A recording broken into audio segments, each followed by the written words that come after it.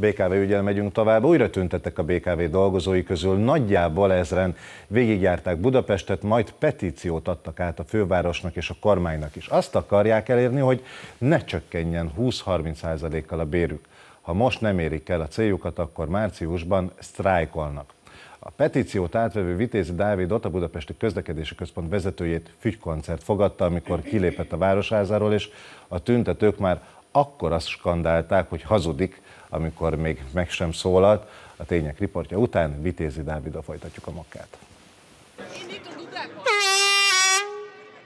Dudaszóval indult a BKV-sok menete a főváros három különböző pontjáról. Végül a Blaha Luisa téren találkozott össze a három csoport, innen vonultak tovább a buszsávban a Városháza és a Parlament felé.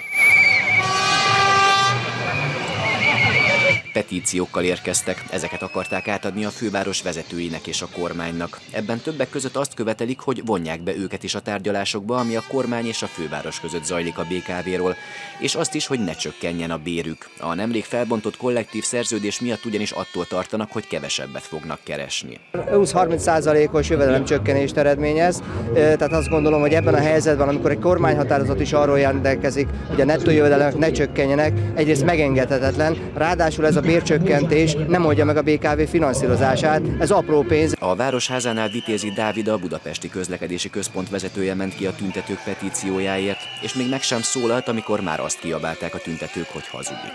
Utána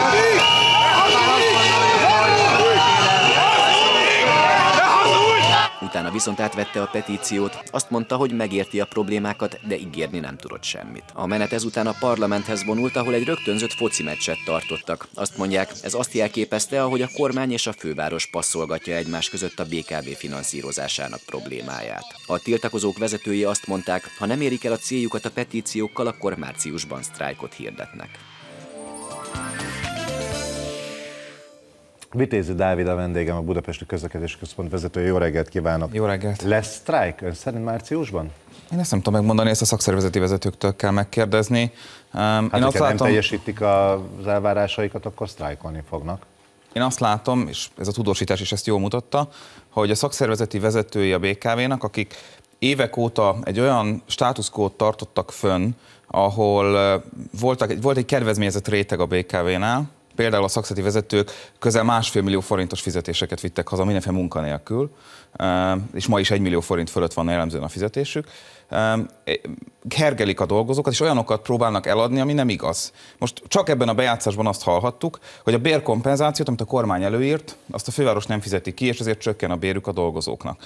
Na most bérkompenzációt, ezt elmondtuk már korábban is, és most is elmondom, és így is lesz. A március elejé fizetéssel ki fogjuk fizetni. Tehát visszamenőleg is meg fogják visszamenőleg kapni is meg fogják kapni. Ezt nem lehet máshogy kifizetni, mert a BKV-nál nem mindenki minden hónapban ugyanannyit keres, órabérek, pótlékok vannak. Tehát ahhoz, hogy össze lehessen hasonlítani azt, hogy valakinek esetleg az adójóváírás és az adószabályok megváltozása miatt mennyivel változott a fizetés, az előbb meg kell nézni, hogy mennyit keresett az új szabályok szerint januárban, és csak utána lehetett kompenzálni. Ezt nem lehet előre kiszámítani, hiszen túl sok tényező változik egyszerre. Természetesen visszamenőleg gyakorlatilag mindenki meg fogja kapni a pénzét. Most erre hivatkozva fölhergelni több ezer embert, eh, kivezényelni az utcára, majd látványos akciókat csinálni, ezt éppenséggel lehet csinálni, de ez valójában nem arról szól, ami, amit elmondanak, hanem arról szól, hogy van egy kedvezményezett réteg a BKV-nál, szakszervezeti vezetők, különböző kedvezményezettek, akiknek viszont valóban megváltozik a státusza azzal, hogy a kollektív szerződés véget ér. Ez milyen érdekes, Vitézi úr, hogy, eh, hogy eh, hát nem tudom, nem tudom most erre mit mondjak. Ön sem mondhatja azt azért, tehát nem lehet megmagyarázni egy ilyen helyzetet azzal, hogy vannak kedvezményezett szakszervezeti vezetők, akik másfél nem ez a lényeg. Szerintem az embereket, az utazóközönséget, illetve a BKV-nál dolgozókat alapvetően nem ez érdekel. Mindenkit az érdekel, hogy mi lesz a BKV-nak a sorsa, mi lesz a BKV-nak a jövője. Egyáltalán lesz a BKV? Mindenki 10 milliárd forintokról beszél, csak mondja meg, ha már itt van. Mi lesz ennek a cégnek a jövője? Nézze, ez minket is érdekel természetesen, és ezért dolgozunk egy nappal a téve, hogy ezt a helyzetet megmentsük. A helyzet úgy De fest... pénzük nincs.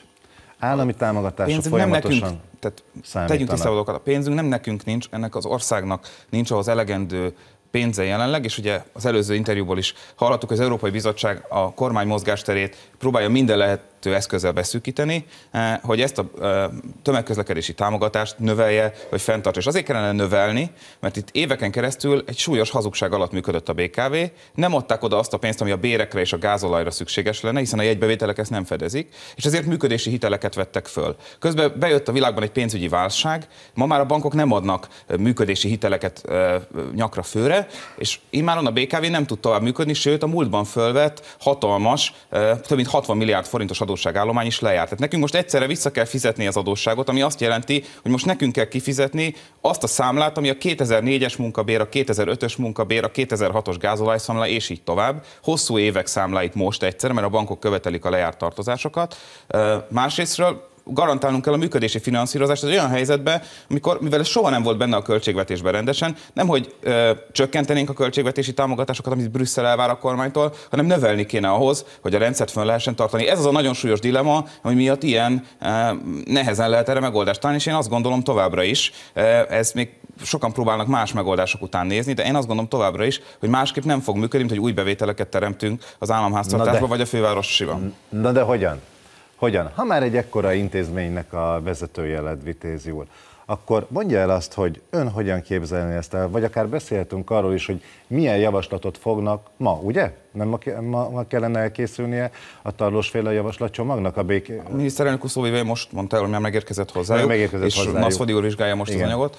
Um, én azt gondolom, számos javaslat van ebben, de az közös benne, hogy valamilyen vagy új adónem, vagy új bevétel eh, bevezetésre szükséges. Én most nem szeretnék ebben előre szaladni. Ez lenne az útdíj? Nem, nem az útdíj, az útdíj nem is szerepel ebben a javaslatban az az útdíj legalábbis, amit itt uh, kiszivárogtattak korábban, és úgy állítottak be, mintha ez valakinek a javaslata lenne, miközben mi magunk írtuk le, hogy ez egy teljesen rossz javaslat, uh, hiszen nem egy behajtási érzékeny útdíjról van szó. Dugódíj az szükséges, és ez nem csak azért szükséges, mert kell bevétel vagy nem kell bevétel. Szintén Brüsszel, az Európai Unió írta elő Magyarországnak, hogy a négyes metró uniós pénzét csak akkor kapjuk meg, ha behajtási díjat bevezetünk. Az útdíj és a behajtási díj között az a különbség, hogy ez az útdíj javaslat, ami nyilvánosságra került, itt akkor is fizet valaki, hogyha Csepelről Budafokra megy a külső városrészekbe, vagy akkor is, hogyha csak hétvégén használja az autóját. A dugódíj pedig a behajtási díj az arról szól, hogy csak hétköznap és csak a belvárosba való behajtásért kell fizetni utóbbi az elkerülhetetlen, ez Európai Uniós előírás, a másikról viszont szó sincsen.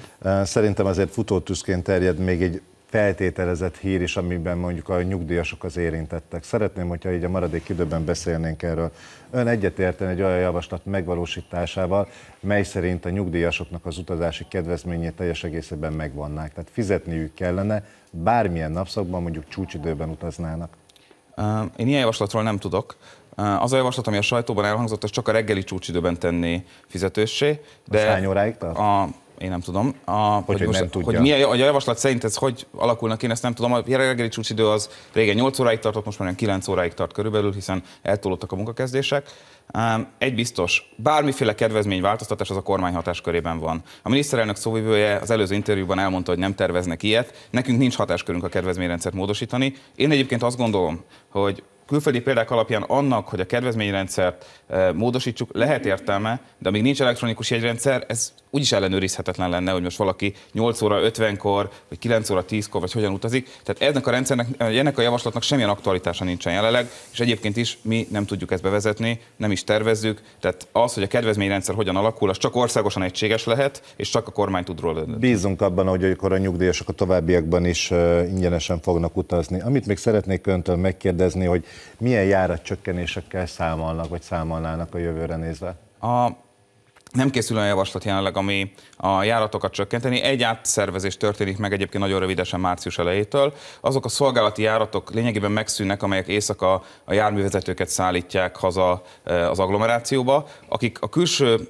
agglomerációs településeken élnek, nekik olyan beosztást fogunk készíteni, hogy még az utolsó vagy az első nappali járattal beérjenek a munkába, vagy haza tudjanak menni. Ez kb. 200 millió forint megtakarítást jelent, de a publikus éjszakai hálózat, amit az utasok is ismernek, használnak a 900-as számjelzés éjszakai járatok, viszont bővülni fognak ennek hatására. Tehát olyan, hogy menetrend szerinti járatot ritkítsunk, csökkentsünk, ilyen terv nem készül. És még egy, nyilvánvalóan, hogyha a pénz elfogy, tehát azért szeretném hozzátenni, hogy ha a pénz elfogy, akkor előbb-utóbb annak úgyis olyan er- eredménye lesz, hogy nem tudjuk kifizetni a gázolajszámlát, vagy a béreket, ennek van veszélye, hogyha a finanszírozás nem oldódik meg, az nyilvánvalóan azt jelenti, hogy a BKV nem tud változatlanul működni, de mi azon vagyunk, hogy ezt elkerüljük. Kicsit engem arra emlékeztet ez a jelenlegi helyzet, mint ami Londonban a 80-as években alakult ki. Akkor volt egy nagyon komoly vita arról, hogy az ország teljes gazdaságából mekkora pénzt kell egy főváros közlekedésére fordítani. Ebből nagyon súlyos politikai csaták voltak akkor is, és ott egyébként tíz évbe telt, mire London tömegközlekedésének a finanszírozása stabilizálódott, és azóta hát, működik.